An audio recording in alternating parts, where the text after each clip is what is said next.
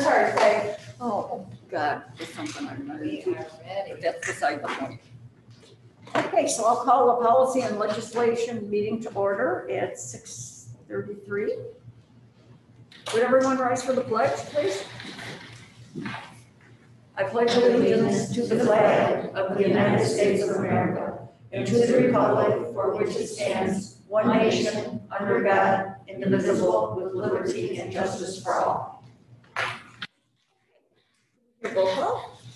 Chavez, Hightower, Jackson, Mason. Here. O'Connell, Here. Rosas, Sosa. Okay. We have any written or any public participation? Okay, old business, new business? Okay, so then we need a motion to accept the policies as presented.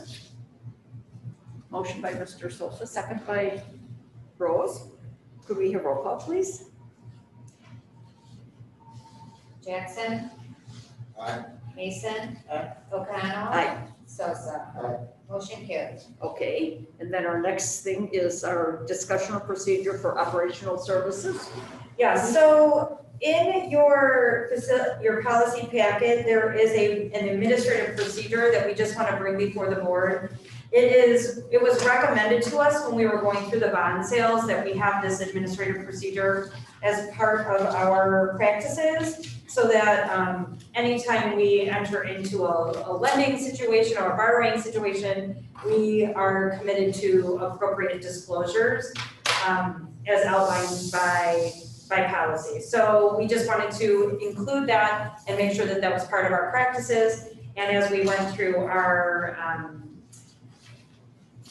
our audit review and our, our rating call, that was one of the recommendations that they had made, and that was reviewed by our legal counsel. So it is now included, it's not, it doesn't require board action because it's an administrative procedure, but it is for you to be aware of that we will follow proper disclosure procedures uh, when necessary.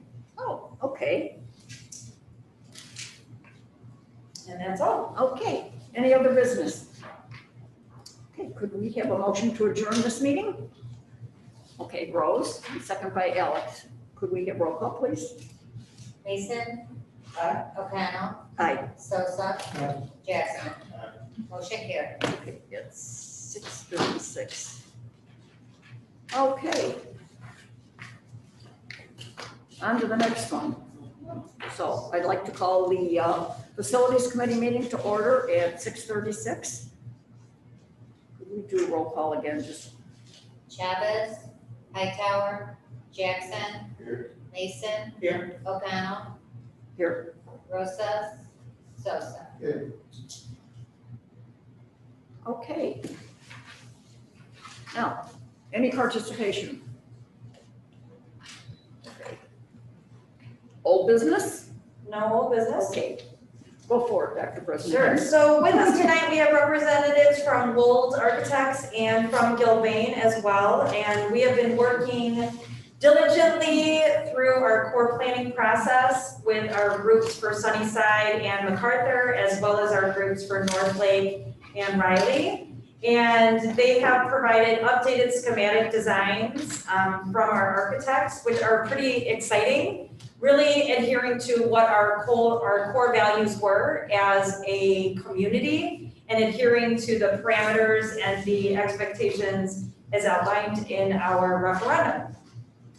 And then Gilbane's part is actually to make sure that we are going to stay within budget. So the two documents that you will be going through is a presentation of the schematic designs as well as kind of a cost breakdown to let us know that we are going to be on track to stay within budget for these projects. So with that, I'm going to turn it over to, we have Jocelyn Kelly and Fred Schuster with us this evening, and they are going to be presenting the schematic designs. Well, thank you very much, Ken. This is Fred Schuster, and uh, we're very excited uh, to be here tonight and uh, share with you the results of uh, many people's hard work. Uh, As Dr. Bresnahan uh, said, this is a direct response to the uh, uh, goals and values that were identified in the long-range planning in the referendum. And we're very happy to report that not only are we, we think fulfilling your expectations and the goals of the community, but we are on budget. Uh, Tom Leonard and Stuart McKenzie of Gilbane are with us tonight, and they're going to talk a little bit more about that. But first, I'm going to turn it over to uh, Jocelyn Kelly to uh, give you a, uh, an update on the design progress. Thanks, Fred. Um, can everyone see the screen okay? Yes. Great. Awesome. So um, just want a quick outline kind of what we're going to go through as far as the design update tonight and um, and the schedule and budget update. But we'll take a little bit of look inside our process, give you a little bit of the background uh, with the feedback that we got from the core planning group. And then we'll look specifically at Riley Intermediate and Northlake Middle School, and then the interventions for the new uh, building for Sunnyside and MacArthur. And then we'll turn it over to Gilbane for schedule and budget. But before we jump into all of that, I wanted to extend a huge thank you to the members of our core planning group. Uh, for anyone that doesn't know, we met for some of us 13 times over the course of three months. Um, but we did split into a couple of different groups. So we we met uh, six times for Riley and Northlake and seven times for Sunnyside and MacArthur to get all of this input. Uh, and we do want to emphasize that it was a huge effort and we are so appreciative. We got great feedback and we had a really consistent team throughout, which really helped push the, the process and the designs along. So we're very excited to talk to you guys about where we're at.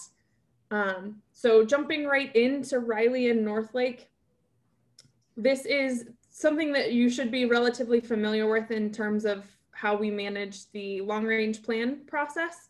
So uh, the next step for part of the core planning group charges was to create design criteria, taking those long range planning principles uh, and, and turning them into design interventions. So taking a look at some of the key things for Riley Intermediate and Northlake Middle School, looking at opportunities to create um, some opportunities for equitable education experiences across all projects. So taking a look at that.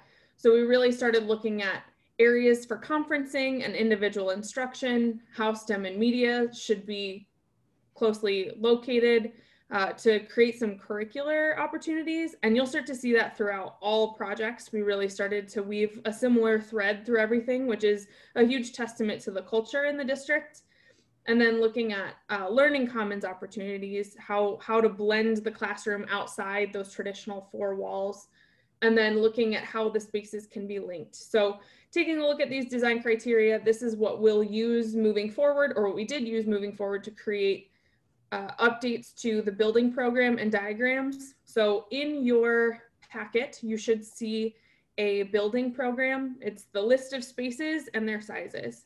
Um, you'll see that there was a a pre-referendum amount or a referendum planning size and list. And then there may be some adjustments in schematic design. Those are direct result of input and feedback from the core planning group. So none of that was done in a vacuum. That was all with your district and community team members.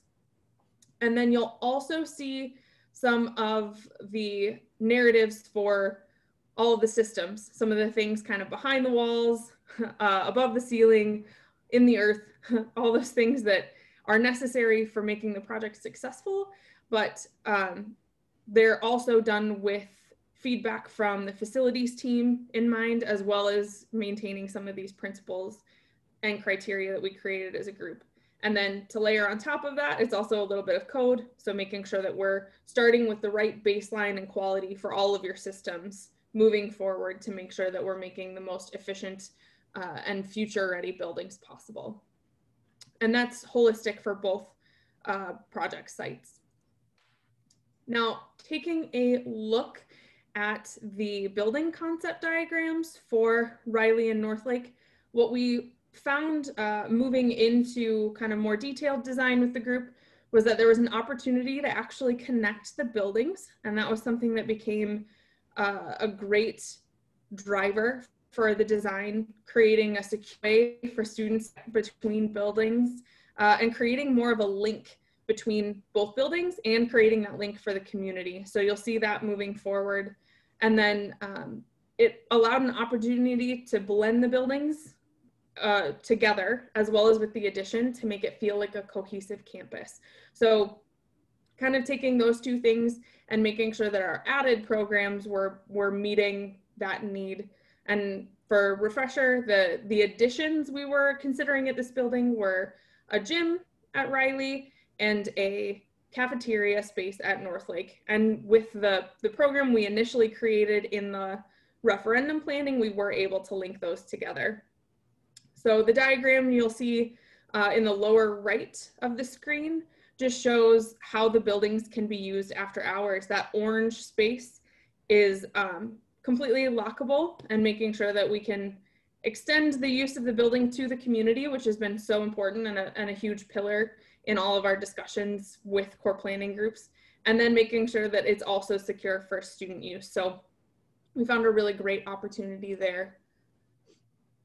This is just a, a real life site version of what you just saw. So taking a look at what the gym looks like linked with the cafeteria for North Lake and what that opportunity to connect those main entries also starts to look like in plan.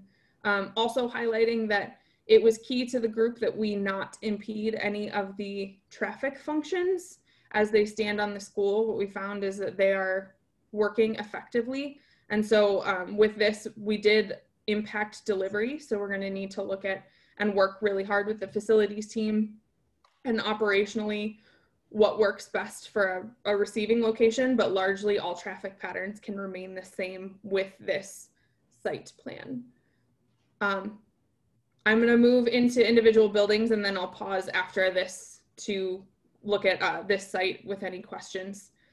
But taking a look at the overall impact to the buildings, we are still maintaining that we're renovating all spaces to create a refreshed learning environments, but the areas that you see in green are um, a little bit heavier impacts and create some of those group learning uh, opportunities as well as your specials classes. So something we learned was that creating a suite for specials classes, your music, your art, your STEM, and your media center was really important throughout the district. So creating uh, that, that cohesiveness of curriculum. And we found opportunities to do that here. You'll see that we're still locating the media center in the existing cafeteria, and that cafeteria is now being located in your existing gym. Um, it won't still look like your existing gym. There will be heavy renovations there, but that was something that was um, really important to opening up those learning common spaces that you see in the center and those allow the classrooms to flex into that space. So because your classrooms are maintaining the, their existing size, we're creating that additional learning environment central to the building. Uh, this is largely similar to what was done in long range plan and referendum planning, um, which is a, a, testament to kind of the goals of the, the district, but there were some minor modifications for uh, making sure that it operationally still worked the way it needed to for school and created some additional efficiencies in how we grouped curriculum together. Um, and then areas in light blue just indicate where we're doing the, the finish refresh. So making it all feel like one cohesive building, uh, new, new fixtures, new furniture, new um, flooring, paint, all that fun stuff will happen throughout the building. So that's kind of what's happening at Riley. And you'll see there's a break line here. You can see my cursor uh, on the right by the gym. That is actually where those two buildings connect. So looking at the gym and finding a um, synergy and sharing a platform or a stage in between allows us to create that link between the two buildings. So moving into North Lake, there were a few adjustments here just based on understanding a little bit more how um, to how to best optimize your existing facilities for future curriculum development. So uh, something that originally was not planned for in referendum was creating that learning commons upstairs.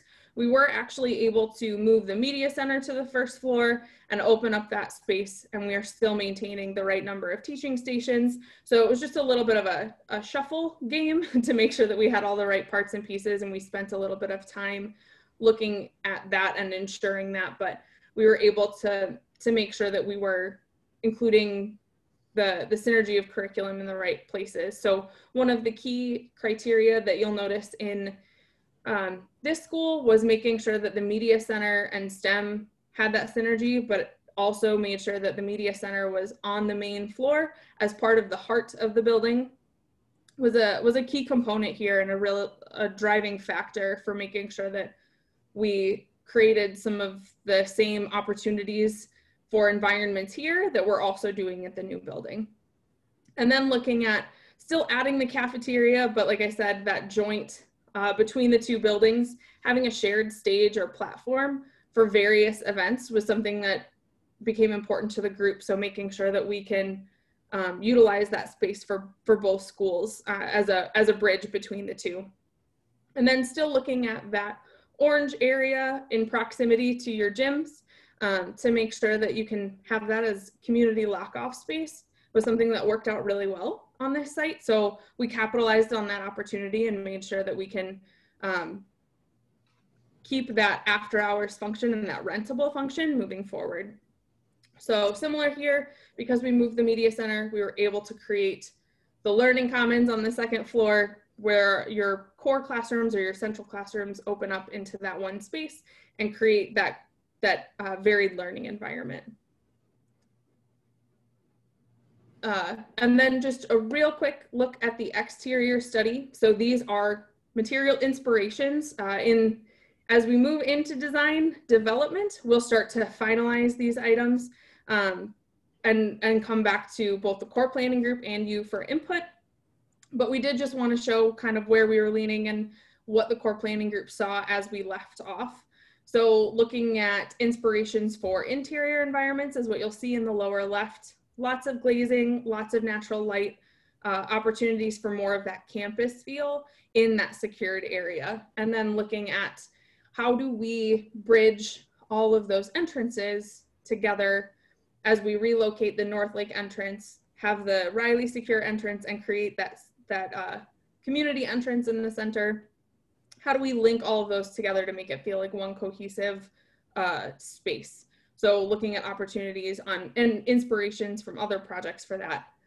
And then looking at how to maintain the existing or blend the existing uh, building materials, which are brick largely, um, with some more contemporary materials and create um, a, a, refreshed look for the space while still maintaining some of the, the traditional feel that is important to the community as well as bringing it future forward. So just a quick look at a, a quick study of what we're landing on right now, but this is by no means final.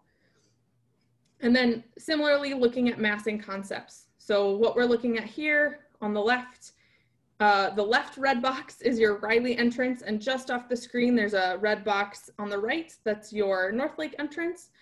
Uh, and how do we bridge those two spaces with the addition? uh, and blend those two facades together. So that's kind of our charge right now and looking at how do we optimize the amount of glass and glazing so that we have as much natural light as possible into those spaces. So looking at ultimately a pretty glassy facade uh, and finding opportunities to to kind of elevate that that area. So this is the the front view. This is the parking lot side, but will be ultimately the front view for all buildings. And then this is a concept for the gym. This may adjust depending on um, how how we look at storm shelter collectively for the campus. If it becomes the gym, this will be a little bit less glassy, but um, again, the hope is to make the environment as bright as possible and as light as possible um, and give views to the park that you have preserved out back. So just taking a quick look at uh, what what opportunities exist on that face as well. But that's largely where we're at for uh, schematic design for Riley and Northlake. I do want to pause. I know it's a lot of information for any questions or comments.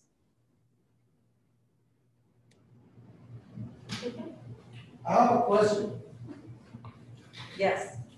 Can can she hear me? Yep. Jocelyn, you can hear Mr. Sosa?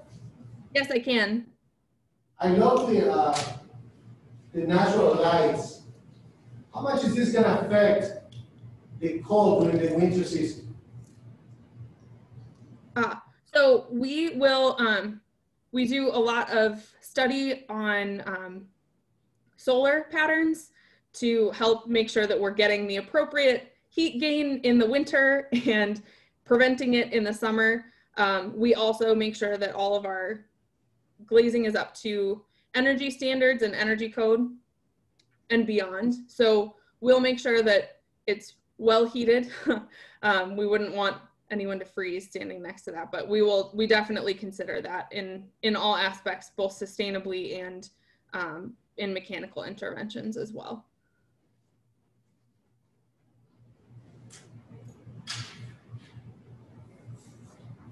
I think that's it for this site, Jocelyn, thank you. great. Well moving on then to the next site um, i do want to touch on the design criteria we created here. So uh, similarly to the other uh, projects this is this is how we organize the building moving forward and this is not the exhaustive list but it, the exhaustive list is in your packet um, but things that we really wanted to focus on because we had the opportunity to create a new organization for the building is making sure that classroom organization was able to foster that team teaching and collaboration. Um, we also wanted to plan for future enrollment, so there will be a flexible space to incorporate uh, grade level fluctuations if you've got an extra section, and you'll start to see that reflected in the building diagram. Um, and a key piece so part of part of the referendum planning was that it is physically one building, but we found that it was very important to maintain a separate identity for each building. Um, we spent a lot of time talking with teachers and with community members to make sure that we were hitting that right balance of individual school identity spaces and still capitalizing on the efficiencies of having one physical building on site. So that is something that you'll see play out in the plan.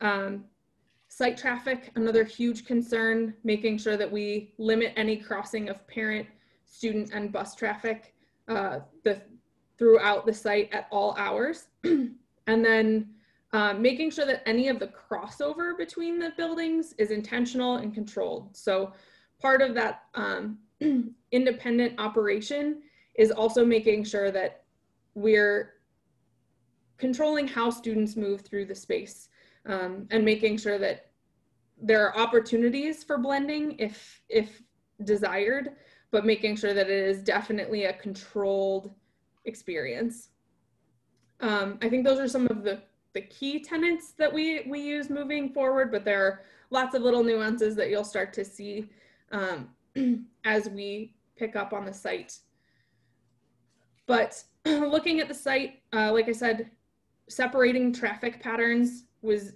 absolutely key. So looking at opportunities to um, protect the preserve district office parking was important. And we determined that utilizing that front drive for bus drop off and pickup actually made the parking lot a little bit safer.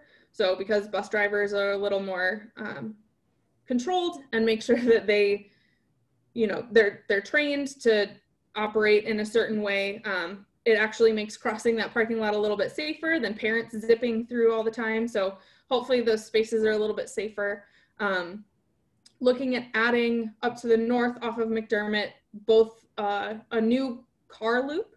So looking at how students enter the building and creating that as purely a parent drop off and then having a separate staff parking lot access there as well.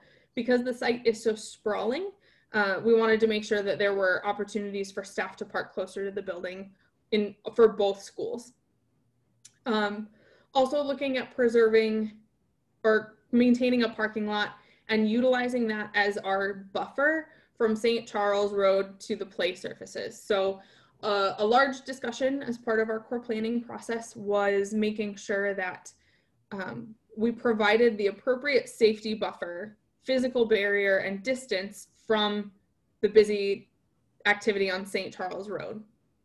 With that in mind, um, it was determined that a parking lot provided an appropriate amount of distance, even though it is a little bit farther from the school, but that was definitely a charge from um, especially community members. We had a great community voice on our committee. So um, making sure that we had that barrier as well as a physical barrier, um, a fence and landscaping along that pathway. Um, taking a look at specifically control on the site, the car loop presents a little bit of a challenge because we don't want it to become uh, pass through to St. Charles. So making sure that we're restricting access, um, but it also allows some flexibility for um, delivery access. Uh, we're still working through some of the finer nuances, but the general concept is um, laid out here, making sure that all of the the different traffic, um, both in timing and in um, traffic type, are all separate appropriately. and then moving forward, um, just wanted to give a little bit of insight into the concept for this new building. So when we start with a blank, a blank slate, effectively, uh, we we like to come up with a story that'll help us carry through, um, and that can start to resonate with the community. So we actually had a brainstorming session as part of our core planning group, and um, a couple of teachers actually noted that the proximity to trains and the concept of train travel was um, exciting to them because it meant that you know you can go anywhere you can go anywhere on a train.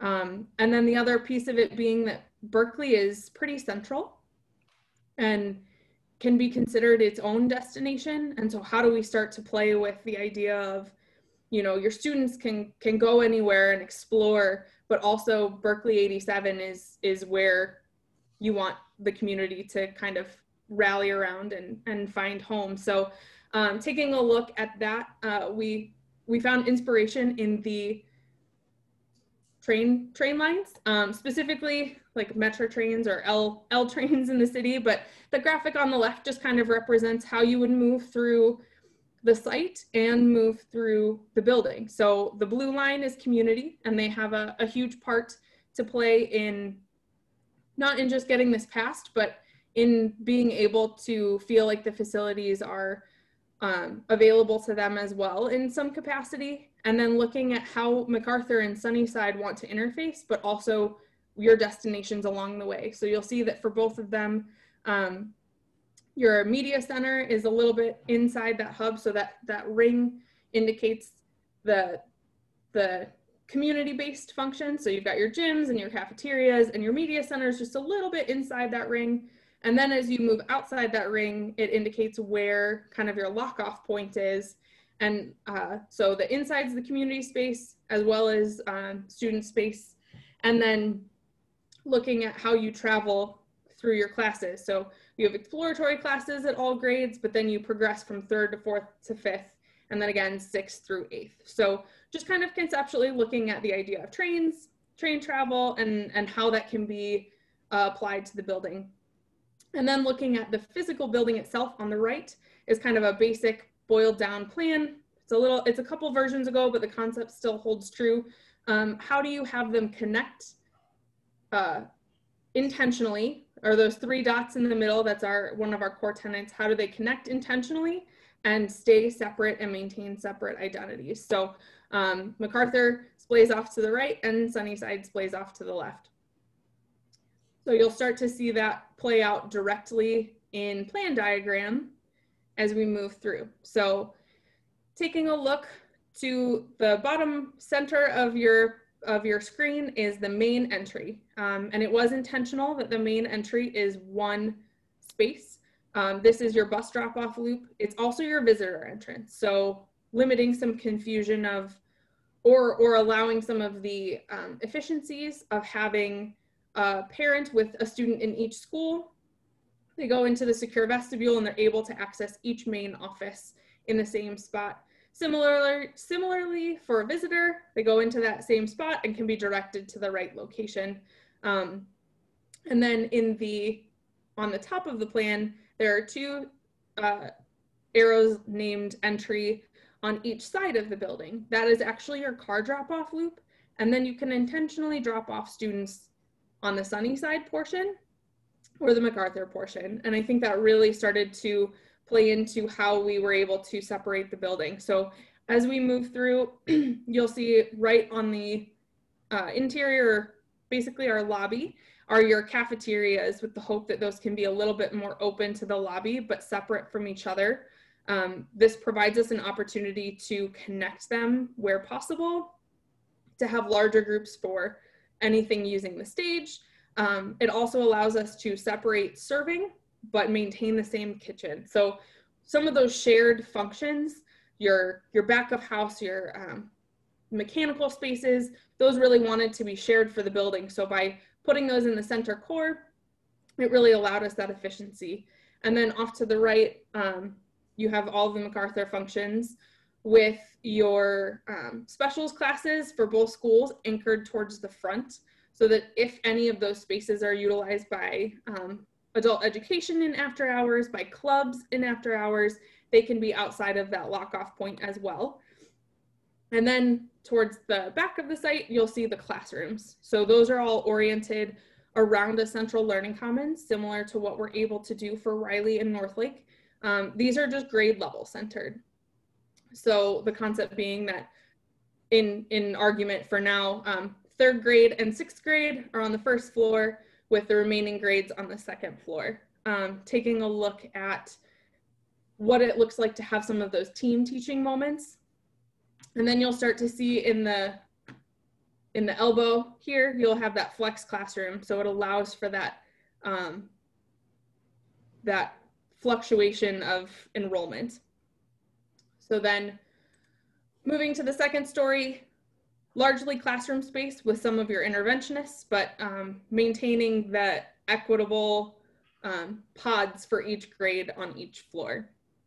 So the biggest difference for um, MacArthur is they've added a, a, science lab that Sunnyside doesn't have, but um, being able to create a little bit separate identity in terms of finishes and in terms of um, how we're able to organize their their personal belongings, start to create that different identity for MacArthur so that it does feel like they've left Sunnyside when they're and that was a discussion we had you know when they've graduated from sunnyside effectively they need to feel like they're moving up um, into macarthur. So making some of those subtle changes to make them um, feel like they're growing along with their education.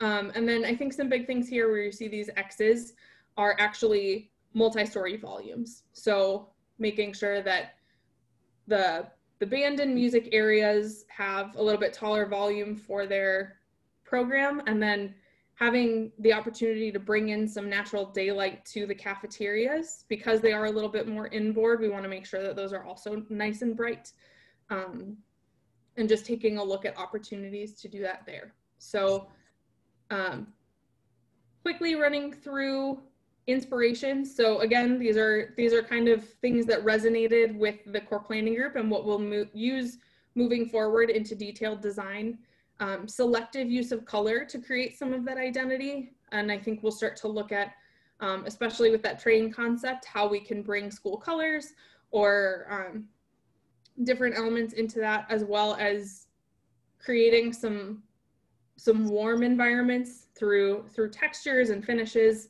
Um, again, lots of daylight, making sure that we're we're capitalizing on those opportunities. Something that we were able to do in the plan, and I didn't really highlight this before, is every classroom has, every typical classroom has access to daylight, which was a, a great challenge on this site, but we were able to um, kind of push and pull things and stretch it to make sure that that, that criteria was absolutely met um, as it's being met on your existing buildings at Riley and Northlake.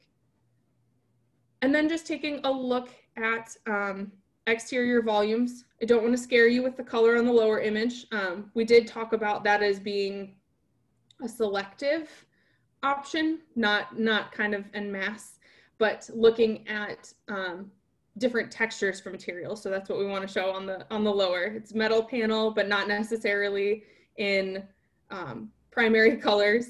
Um, and and looking at the residential scale as well as the the more traditional scale, making sure that we're respecting the the tradition of the district and of the community around it. So really taking cues from all of the buildings surrounding the site because we have such different uh, buildings all around. We've got manufacturing and business and residential and making sure that we can kind of blend those and make um, make the new building a little bit more of a destination and create its own identity. So um, with that, that is where we're at for the new 3-8 building.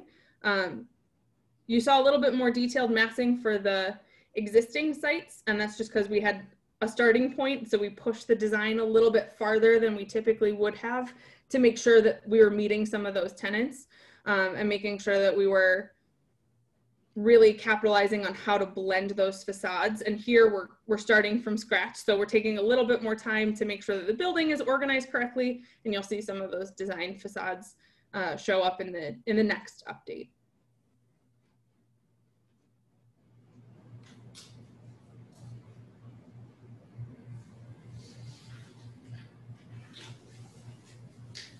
Okay, thank you, Jocelyn. And uh, if you go on to the next slide, um, as Jocelyn said, we'll uh, be starting the, the next phase, which we call design development.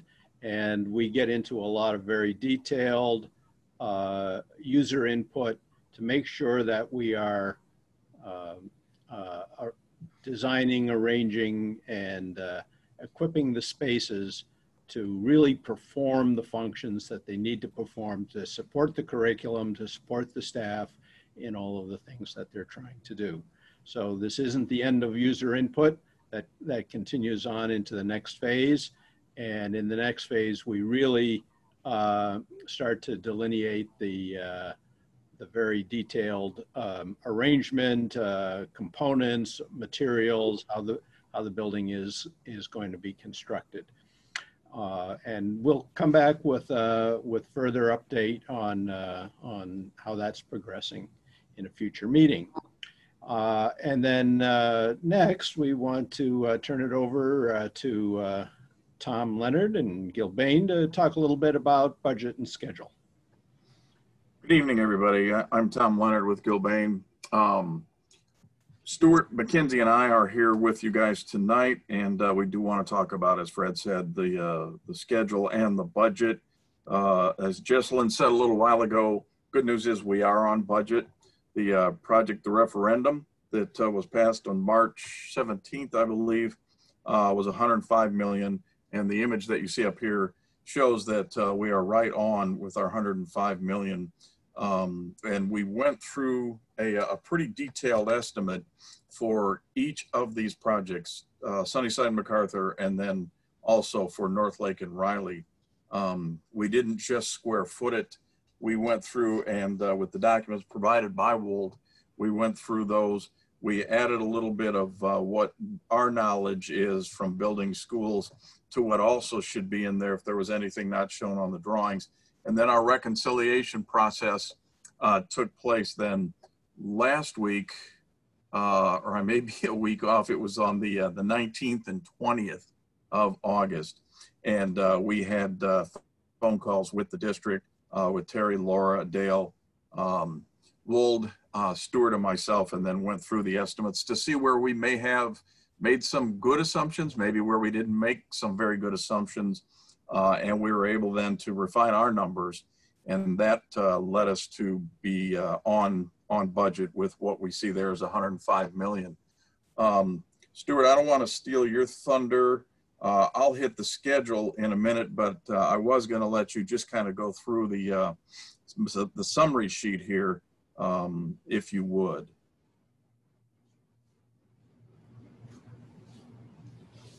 Sure, Tom, no problem. Um, yeah, basically we, we divided it into two projects um, to do the estimate where we combined North Lake and Riley together. The two projects with the renovation and new additions come out to 24.8 million. Um, MacArthur and Sunnyside, uh, we looked at that as one building, so it was easier to put it together for us as just one estimate. Uh, and that one was a little bit easier. It came out to 55.3. Um, we do have some contingencies, although um, those are necessary at this stage of design. Um, there's a lot of unknowns that we aren't able to account for, so we're trying to put those into it now. Um, so we're thinking that many times when we see this, the uh, the design and estimating contingency will be uh, redistributed up above with those numbers late as, as we go through the process. Um, plus, we had owner input and soft cost uh, that was given to us, so that that allowed us to get to where we are eventually at the 105. So right now, North Lake and Riley 24.8. Those are the construction costs. Um, MacArthur Sunnyside, uh, 55.3. And uh, we have contingency at about a little bit over eight. And then we have the uh, owner soft cost at 16. So that gives us a total of 105. That's basically all that we can do right now at this point. All right, Tom, back to you. And we'll, thanks, Stuart. And we'll be working with Wold then as they progress through design development. Uh, I would imagine there'll be quite a bit of back and forth, um, you know, requesting a pricing scenario for this certain material, this certain uh, scheme. However, um, we see the design, uh, the design development phase proceeding. We'll be providing input in that. And then our next milestone schedule effort will be at the end of design development. Uh, and then we will also do a, uh, an update to this. Uh, actually, don't let me say it's an update. It's actually a whole new estimate uh, based on what we see on the documents. As Fred said, the documents will progress. Uh, there'll be more lines on the paper, uh, you know, his, in his expression. And then we will price what we see on the design development documents, do a schedule update, get together for another reconciliation with Wold, with the district, and um, see where we are at that point in time. Uh, so I would imagine then that's going to uh, probably happen later in the year. Um, and uh, throughout the process, then as they go from design development to construction documents, we will also be providing uh, cost and uh, material labor input, and then that will lead us to the the construction documents, the CDs, and then we will also provide a third estimate for the documents at that point, see where we are before we go out to bid. Um, which leads me to the uh, schedule uh, that you see up there. And right now, we've got our bid documents uh, set to go out on the street to the contractors for bid in um, May of 2021, bidding period of May, June, uh, and then we uh, plan to hit the uh, the board meeting in July. I'm sorry, in June. I think it's the 24th, I believe it is. Um,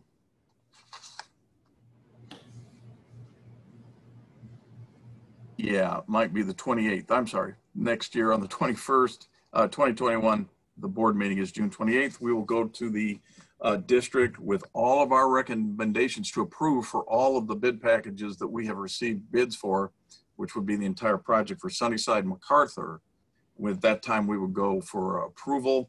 And then the uh, intent right now with the construction schedule you see there is to start work in July probably two weeks for submittals, approvals, and then start construction uh, July 15th, middle of, and then that takes us to a substantial completion of Sunnyside and MacArthur in November of 2022. Uh, and then it, we're looking at right now with the district to determine uh, what the uh, next steps are because at that point then in January, we do proceed then with the demolition of the existing Sunnyside MacArthur schools. Uh, there'll probably be some abatement, uh, hazardous material, uh, that kind of thing required then before we can do any, uh, before we can do any demolition inside the school, we'll make sure that all of that's done. And then we'll do the demolition of those buildings, uh, restore the site area. And then um, we should be pretty much done with everything April closeout of Sunnyside MacArthur in uh, June, July of 2023. And then for Riley, excuse me, Riley Northlake, then we have uh, scheduled bids to go out in October of 2021. Bidding period will be October, November of 2021. Um, And uh, we'll hit the board meeting. I believe it's going to be in December. We've got to work that out. Uh, And right now, we're showing construction. If we can get in there earlier, we will, because that might be accessible during some of the breaks uh, over the holidays to allow us to get in a little bit earlier. Uh, Right now, as you see there, when the weather breaks, we're looking at construction starting uh, with the link and the rest of the work, the new gym, uh, and pretty much everything. Then in March of 2022, again, this is North Lake Riley, and then we've got substantial completion scheduled for July of 2023. Uh, And then final closeout with everything on um, end of July of 2023. And that would be everything North Lake, Riley, Sunnyside, and MacArthur. And that's pretty much where we are right now. We continue to update the schedule, uh, track it. We are doing a P6 schedule uh, kind of parallel to this. And then we coordinate that with Wold uh, for our milestone dates here, our bid award, construction, and our completion dates with the uh, information that we have at this point in time. Does anybody have any questions, budget or schedule at this point?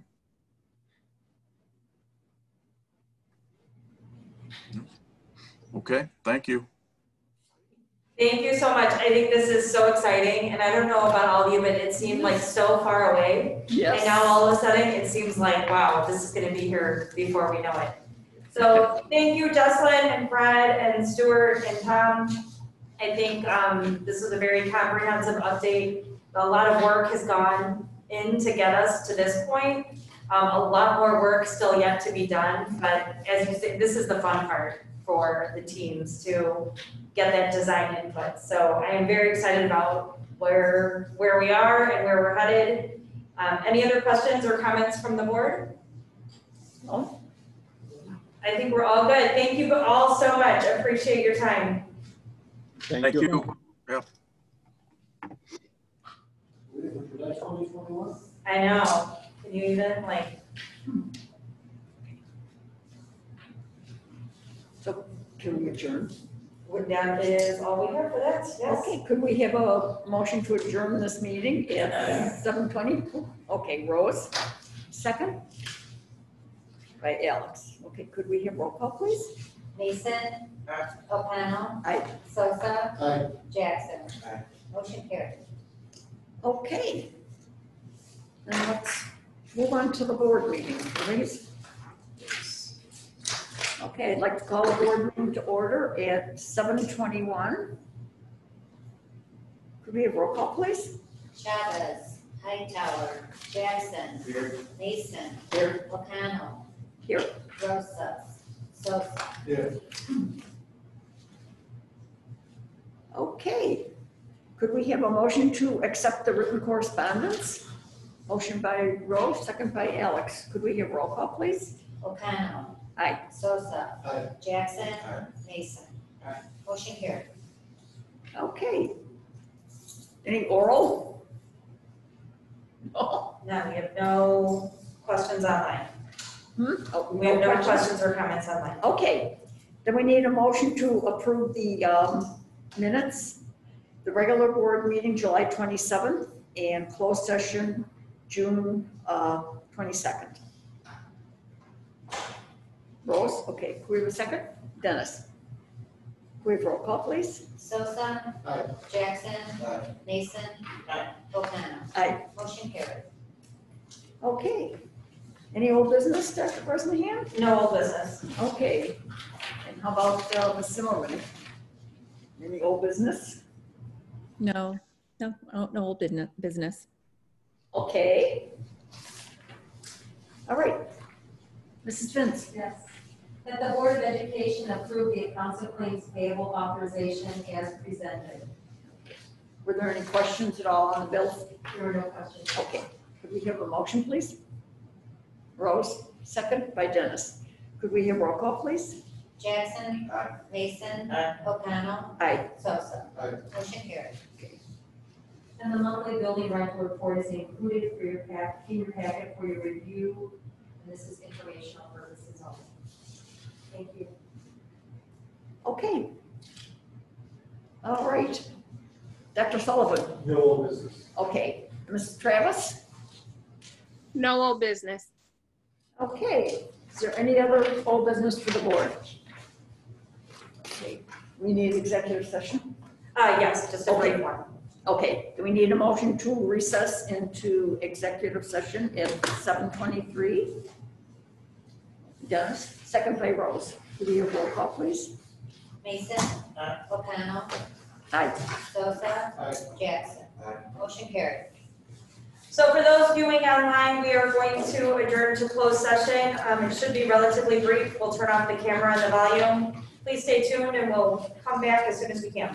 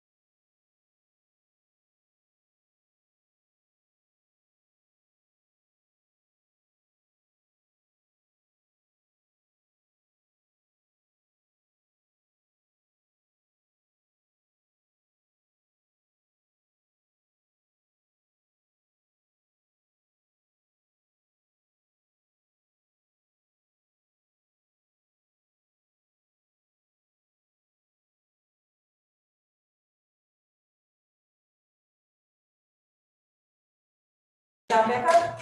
Okay, we are back in open session, everyone. Thank you for staying with us. Okay, so we'll reconvene to open session at seven thirty-two. And all members are present except Maria, Calvin, and Carlos.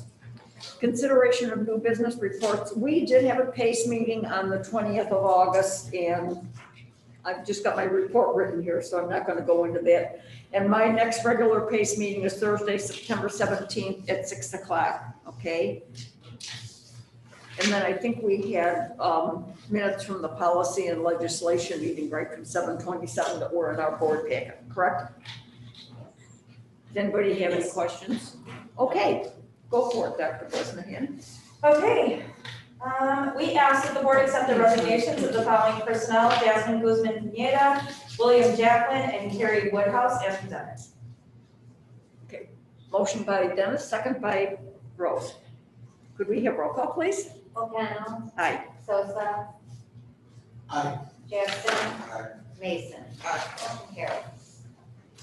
We ask that the board employ the following personnel effective August twenty-fourth, twenty twenty. Cheryl Allaire, Jasmine Brown, Tracy Coronia, Richard Kelly, Melissa Rivera, Christina Sauter, Jillian Stolberg, and effective August twenty-fifth, twenty twenty, Colleen Valentino and Jacqueline Palermo. Motion by Rose, second by Dennis. Could we hear roll call, please? Sosa. Aye. Jackson. Aye. Mason. O'Connell. Aye. Motion carried. We ask the board accept the resignation letters of the following personnel, Anna Hallowith, Catalina Ibarra, and Diane Tallman. Motion by Rose, second by Dennis. Could we have roll call, please? Jackson. Aye. Mason. O'Connell. Aye. Sosa. Aye. Motion carried. And we ask that the board approve the leave request as presented from Teresa Dunn. Motion by Rose, second by Dennis. Could we have roll call, please? Mason. O'Connell. Aye. Sosa. Aye. Jackson. Aye. Motion carried. And we ask that the board reassign the following personnel as presented. Noemi Diaz from lunchroom supervisor to assistant cook at MacArthur, effective August twenty-fourth, twenty twenty. And Teresa Gardano from floor custodian position to maintenance worker, effective September first, twenty twenty. Motion by Rose, second by Dennis. Could we have roll call, please? O'Connell. Aye. Sosa. Aye. Jackson. Aye. Mason. Aye. Motion carried. And I know that we have Teresa on the line, uh, watching this evening, so congratulations, Ms. Gardano. We appreciate all your work and we wish you the best of luck in that position.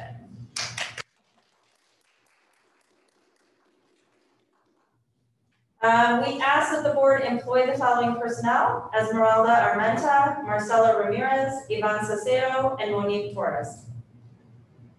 Motion by Rose, second by Dennis. Could we hear roll call, please? Sosa. Aye. Jackson. Aye. Mason. Aye. O'Connell. Aye. Motion carried. And we ask that the board adopt the following policies as outlined in your packet. Motion by Rose, second by Alex. Could we have roll call, please? Jackson. Aye. Mason. O'Connell. Aye. Sosa. Aye. Motion carried. And based on our presentation that we saw during the facilities meeting, we ask that the board approve the schematic designs for MacArthur and Sunnyside and North Lake and Riley as presented. Motion by Rose, second by Alex. Could we have roll call, please? Mason. O'Connell. Aye. Sosa. Aye. Jackson. Aye. Motion carried. I just have a couple of items in our, in my oral report for this evening. Um, unfortunately, the Rebuild Illinois Fast Track grant that we had applied for and did a very quick turnaround. Thank you, Dr. Sullivan and our architects who put in a lot of time to make that happen. Unfortunately, that got put on hold, and then when it did go through, I believe there was seventeen, um, and I think they were all like municipalities that were awarded the grants. So unfortunately, we did not get this one, but we will be in good shape and prepared when the next opportunity comes along. Uh, we did have our first week with staff back on site last week, and it was so wonderful to see our buildings occupied again. We had our opening institute day last Monday, which was wonderful. Um, then that was followed by two remote planning days, which I know Ms. Zimmerman will share a little bit more about, full of professional development.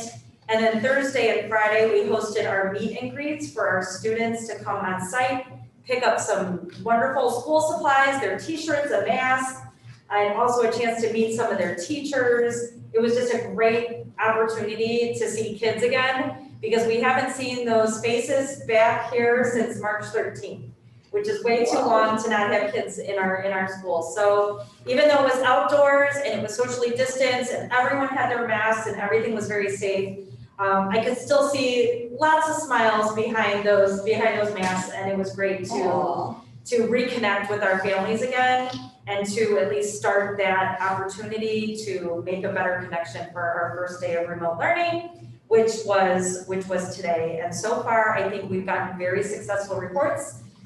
Some tech glitches and at the beginning, which we expected, trying to just get everybody logged in, but overall, it was a very positive day. And um, even had some parents sharing positive feedback to our principal, so we were very happy about, about that. Um, our health data. So as we are on track to look at the potential for switching to a hybrid model, um, or if that is even going to be feasible, I am closely monitoring our community health data, which includes a variety of um, pieces of information. As a proviso township, we're actually looking at all of our specific zip code areas for the seven-day positivity rate. We also have, Cook County is going to be putting out new metrics for us to be monitoring, for us to look at in terms of not just the positivity rate, but also cases per hundred thousand, um, how children are being impacted in terms of positivity. And additionally, we are keeping track locally of our staff health data, just to see how many staff are quarantined or unable to work on site on any given day. Because if we don't have teachers, we can't run school. And so we want to be monitoring that very carefully to ensure that we can really tell when um, staff are out sick or when they have to be quarantined or anything like that, so we can determine how we would be able to staff our classrooms. And then, um, obviously, the facilities planning you can see is right on track. Timeline wise, it is moving full steam ahead, very exciting, and so stay tuned as the design process continues. We'll continue to give updates to the board. And that is all the information I have for tonight. Any questions? Okay, Ms. Zimmerman. Hi, good evening, everyone. Um, The first item on the, that I would like to talk about is our Seesaw Learning Management Platform. And I discussed that last month and um, I, I would ask that the Board of Education ratify the amount of, for the purchase of Seesaw as presented in the packet. Motion. Rose, second by Dennis. Could we have roll call, please? O'Connell. Aye. Sosa. Aye. Jackson. Aye. Mason. Aye. Motion carries. Okay, Next, I'd like to move on to the Berkeley Blueprint for Teaching and Learning. We have had um, a group of staff, about between 45 and 50 staff meeting um, over the last month to plan our teaching and learning plan. Um, it has been um, a great experience to have all of our staff um, giving input. We first focused on our core beliefs and looking at how do we provide equitable experiences for all of our kids, building relationships, focusing on high quality instruction, um, determining the making sure that we focus on determining individual needs of our students as they return to learning um, from the break in terms of COVID and being um, without us um, over the summer. Making sure we're flexible and adaptable and responsive. Um, the team did such a fabulous job collaborating on our master schedules. We outlined all of our expectations with regards to um, what our, we can expect from our staffs, what we can communicate to our families. We looked at the commitments we would need in terms of partnering with our families as well as um, our students. So I think um, we also looked at our instructional models for the day, and we talked a little bit about that last time in terms of the synchronous learning or the live direct instruction, which I know you'll see um, quite a difference in terms of our spring remote learning um, assessment and grading, and they just did a fantastic job. And I just cannot praise our staff enough for the commitment of coming in and working um, remotely with me over the summer to put this plan together. And I think that we have a great trifecta in terms of the staff commitments and our parents and um, our students all together. I think we're going to have a successful experience moving it forward um, into this um, journey of remote learning 2.0. Um, and in a few weeks, um, as Dr. Bresnahan said, we'll continue to um, with our goal of hopefully moving to a hybrid as our current our health conditions as we monitor those. But we'll be planning behind the scenes. So um, when that comes to us, we'll be ready um, to move forward with that.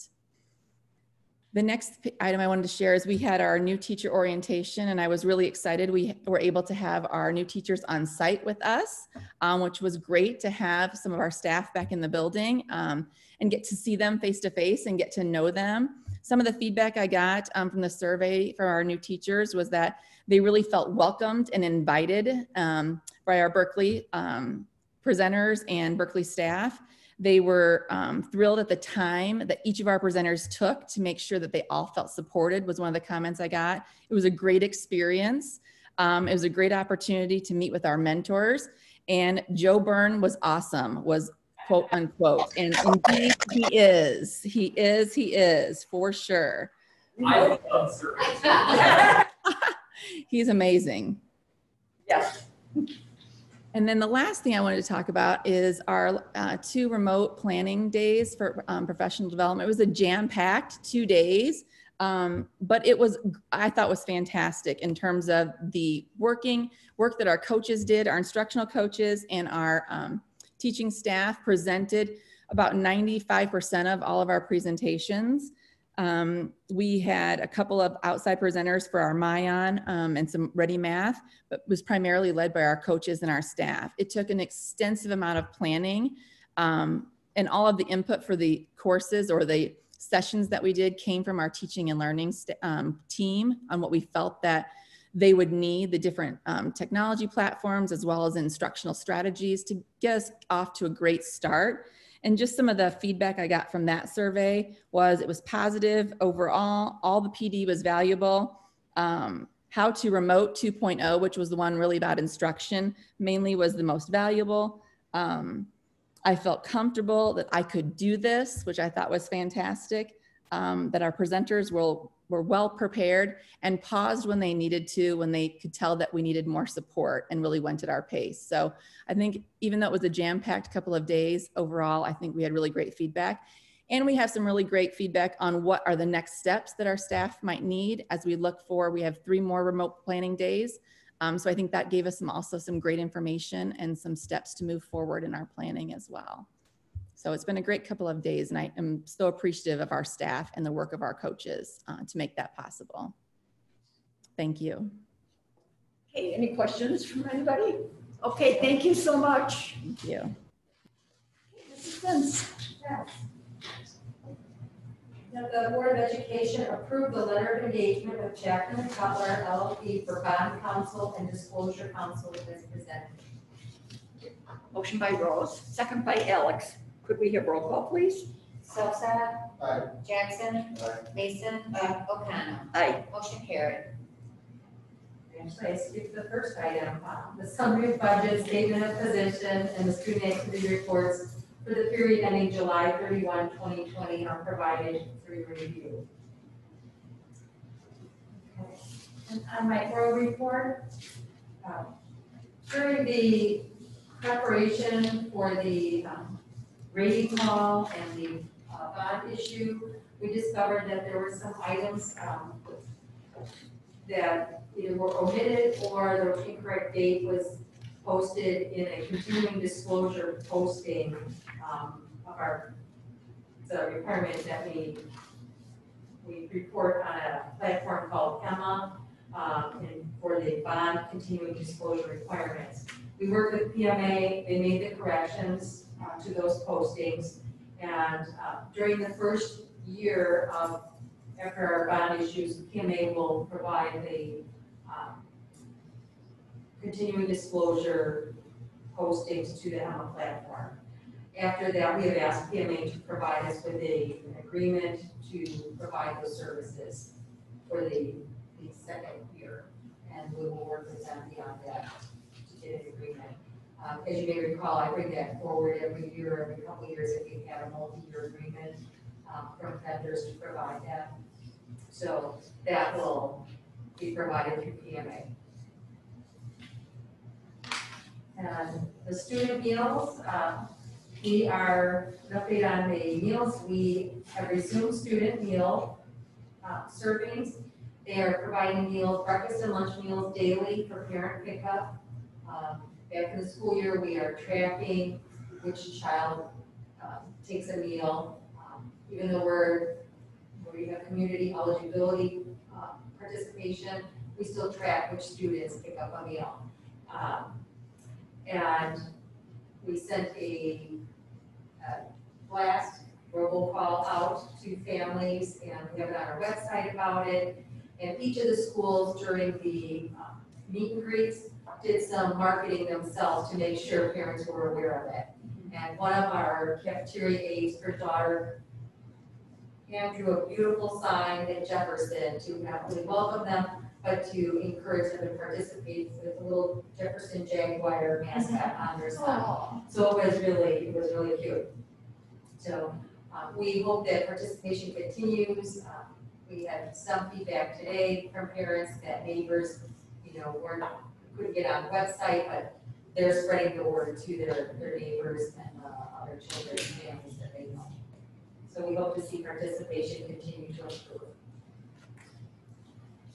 Okay, and the next item, um, as you may recall, we get a rebate for utilizing and participating in the P card program through IASBO. And last year, we received five hundred twenty-five dollars and eighty-six cents. And after that, the board agreed to increase the, um, the limit, the credit limit for the P cards and allow us to pay our, some utility bills with that and increase supply purchases. And this year, I'm happy to report that our rebate is four thousand five hundred and forty-eight dollars. Allowing us to increase our usage of the P card, and the district has the ability to use that amount any way they want. It is not restricted or earmarked like grants might be. Hey, you show up, so. Easy now. Yeah. If it was only that easy, right? Okay, and then the last item, um, when I presented the tentative budget last month, I informed the board that we would be including the first bond issue information in the final budget. Well, through the rating call and the, um, official statement in the first bond issue process, in PMA, I believe they have reported to the board that the environment is positive for us to issue the second wave of the bonds in February versus next summer. So the final budget will include two bond issue, numbers in the, in the, uh, budget, final budget. Initially, we thought it would be next summer, but we have two now, and I think the second, the third and final one will be in twenty twenty-two. Good. Okay. And that is the end of my report unless there are any questions. Okay, thank you. you. Dr. Sullivan, Okay, I have to follow today. Great. Um, go for it, you can do it. All right, I'll do what I can. Just a few things. One, um, an update uh, for our ESL cohort. We've mentioned that this is something we're beginning. And um, under the leadership of Ms. Valdez and also Ms. Vanafor, we've been able to come up with 22 participants this year in our ESL cohort, which is a wonderful number. And seven of those teachers are actually PACE teachers. And that will help us ensure that our children who are duly identified as both special needs and English learners will be able to receive their English learner services while they are attending a PACE program. And so we're very excited about that. And that's being funded through our grants. Also, I want to mention that I went through the federal requirement and state required training for Title IX. And so I'll be the coordinator for the district. And then those were also policies which were approved tonight as well.